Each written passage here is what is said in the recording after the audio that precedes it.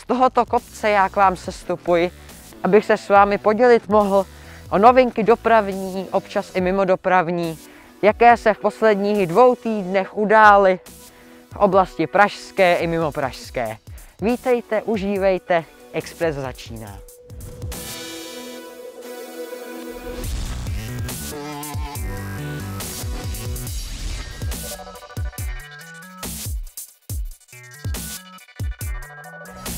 Společnost Busline nepřekvapivě napadla soutěž na provozování MHD v Jablonci nad Nisou. Tu vyhrála společnost About Me před autobusovou dopravou SRO z Podbořan. Ta sice nemá oficiálně s Buslinem nic společného, ale dlouhodobě se o jejich spojení mluví. Navíc podbořanská autobusová doprava v minulosti několikrát zdržovala soutěže tak, jak to vyhovovalo Buslineu. Dodejme, že Jablonec na nové smlouvě s About Me zásadně ušetří, No a to není jediná blokace, která má s Baslinem něco společného. Bývalý šéf její ústecké pobočky nadále zdržuje uzavření smlouvy s vítězi soutěží na provozování okrajových linek v Praze. Tento problém trvá již od července loňského roku a nyní byla po stížnostech stejné společnosti zrušena soutěž na provoz autobusů v Pardubickém kraji.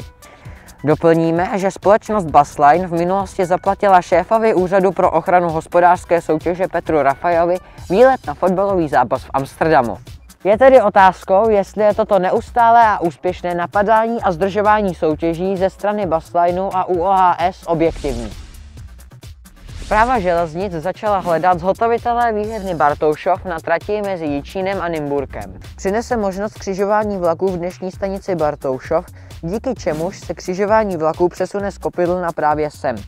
A díky tomu se na lince S21 zkrátí doba jízdy až o 13 minut. Zajímavé může být, že cestující nebudou vystupovat a nastupovat v místech současné stanice Bartoušov, ale až za výhybkami ve směru na Jičín, kde vznikne zastávka Žitětín.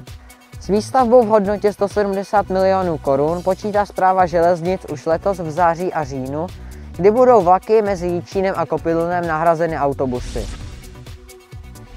Lo Express příčelí složité budoucnosti, kvůli které hrozí jeho odkoupení českými drahami. Zájem potvrdil i ministr průmyslu, obchodu a dopravy Karel Havlíček. Ani české dráhy, ani Lo Express nechtějí tyto jednání komentovat ale například v Rakousku začal stát zajišťovat provoz komerční linky z Vídně do Salzburgu. Česká vláda ještě stále o jakémkoliv zlepšení železniční situace nepřemýšlí. Mezitím autobusy Arevy opět začaly spojovat Prahu s Teplicemi, Brno s Olomoucí a Brno s Přerovem. Další obnovení a posílení spojů probíhá u Leo Expressu i u RegioJetu. Flixbus se svým restartem zatím čeká do 7. května. V minulém Expressu jsme vás informovali o schválené koncepci na ekologičtější autobusy. Nyní se dopravní podnik hlavního města Prahy již chystá vypsat zakázku na 14 standardních elektrobusů.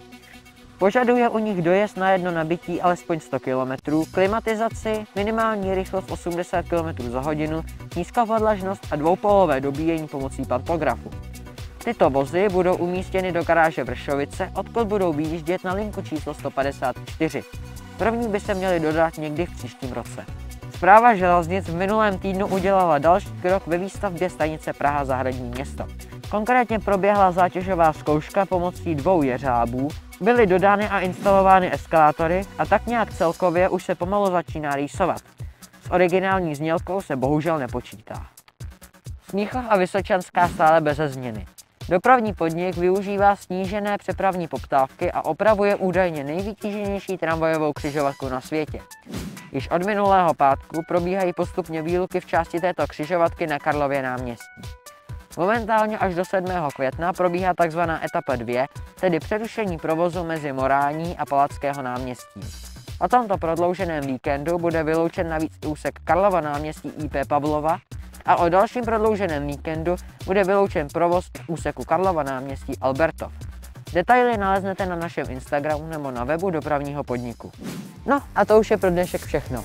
Přejeme vám hodně štěstí v orientaci na Karlově náměstí, sledujte naše sociální sítě, jestli máte zájem, můžete se také připojit do naší komunitní skupiny a pokecat si tam s námi a u dalšího Expressu za 14 dní. Ahoj!